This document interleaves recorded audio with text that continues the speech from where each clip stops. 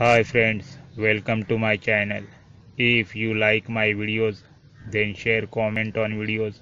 Do subscribe my channel and press the bell icon for new video notification. When a Luna moth enters in your house, what does it mean? Luna moth in the house represents inner transformation, rebirth, new beginning, intuition and determination. Also, Luna moth associated with good fortune who had